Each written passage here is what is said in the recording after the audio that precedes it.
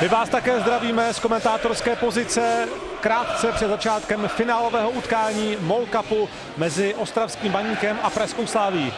Příjemné fotbalové odpoledne, vypadá to, že atmosféra je úžasná. Slávia má samozřejmě v brance Ondřeje Koláře. V obraně trošku překvapivě Friedrich, bývalý baníkovský kapitán, dále Gade, Deli a Bořil. Masopus, Souček, Hušbauer, Traore, Zmrhal záloze a na hrotu Milan Škoda, který v posledních zápasech spíše chodil jako střídající hráč. Dneska je ale slavistický kapitán v základu a vede do boje svůj tým. Při tom setkání kapitánů jsme viděli i rozhodčí, tím hlavním je dneska Petr Ardeleanu. A tady se stava baníku. Budinský brance, o tom už byla řeč ve studiu. Procházka Stronaty, Šindelář, tři stopeři, Pazdera, Fleischmann jako halbeci a dále Filo, Jánoš, Hrubý, Holzer a nejvíc vepředu bude operovat srbský ofenzivní hráč Nemanja Kuzmanovič.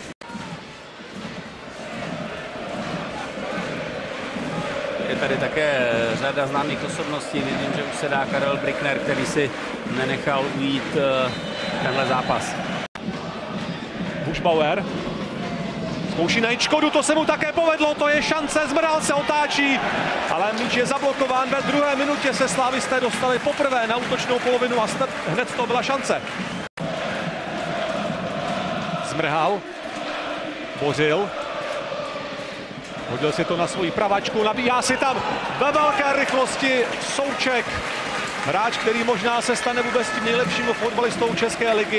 Další nedorozumění eh, mezi stopery zase Slavia se zmocnila dvakrát poměrně snadno míče, protože tuším, že procházka a... A centr na Škodu, další lavička, tentokrát velmi dobře umístěná a Budinský musel vyrážet eh, Škodovou střelu. Bušbauer. Čechraný míč znovu míří na Škodu, nebo Bořil a ten si ho zpracoval. Bořil! Výborně Budinský. Holzer.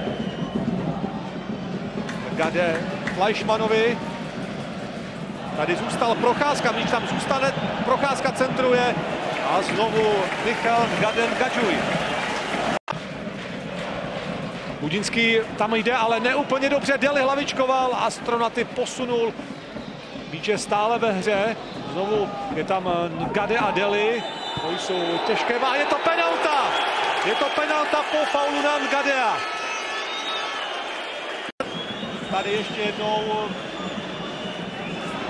ten úder do obličeje eh, tam eh, samozřejmě byl, i když eh, nebyla to úplně nějaká obrovská rána, ale rozhodčí to posoudil jako faul a bude se pískat penalta.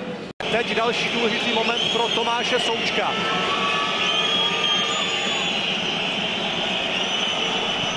Proměnil Slávia vede 1-0. Souček penalty dává naprosto chladnokrevně.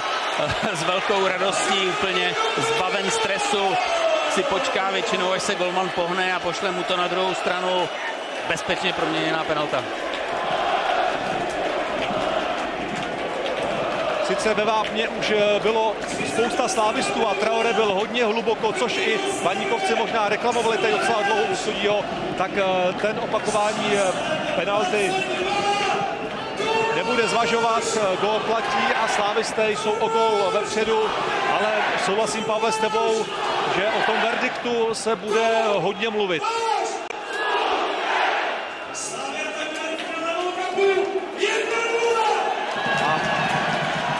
Petr Ardilánu teď ukazuje červenou kartu podle všeho pro Milana Baroše. Ano, Milan Baroš se také vydal k diskuzi a dneska už je jisté, že Milan Baroš do zápasu nezasáhne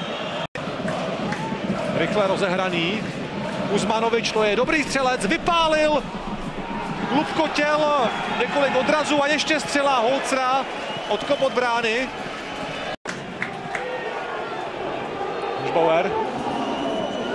Tady je Friedrich, trefil to dobře, ale na prostředek tam byl Budinský. Vyhnal sám sebe mimo pokutové území, nacentroval na Friedricha. Rána zmrhala a hraje se dál zatím. Kuzmanovič, Holzer vypálil, tečovaná střela. Rohový kop. Král nezazmatkoval vpravo, se rozeběhnul Masopust, může jít eh, na golmana Budinského stěhu Fleischmann, Masopust střílí gol a raduje se u svého potle, dává čtvrthodiny před koncem důležitou druhou branku. Myslím si, že tam možná to bylo na hraně, že se ještě zkoumá, jestli to nebylo offside jinak. Nádherná akce uh, slávistů a myslím si, že uh, tohle už uh, je hodně důležitá branka rozhodující, ani náhodou. Byl to výborný pas, který dostal Masopust.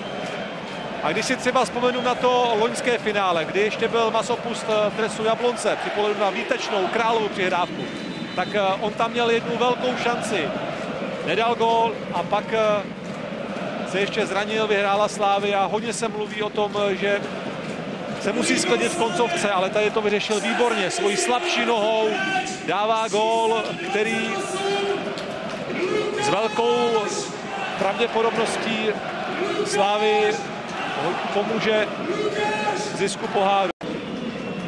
Robert Hrubý přestřelil.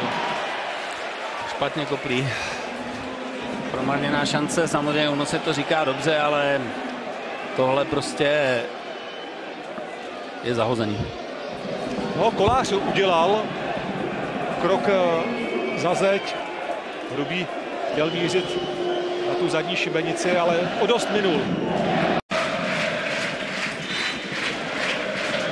Hrubý to přesto zkusí, trefil zeď. Fleischmann, bylo to tečované, ale Kolář se proletěl a Není z toho ani roh. Olajinka vybojoval míč na Procházkovi. Zaseknul, čeká na Součka. Tomáš Souček ve vápně, vypálil, ale branku netrefil. Poslední akce.